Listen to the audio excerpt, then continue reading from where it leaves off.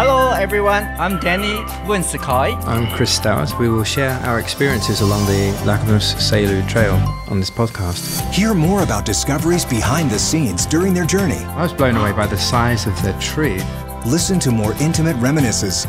My mom had to work two hours to go to school. And tune into more interesting Hakka culture. What is a Raknus? Secrets of the Raknus Selu Trail podcast launches September 27th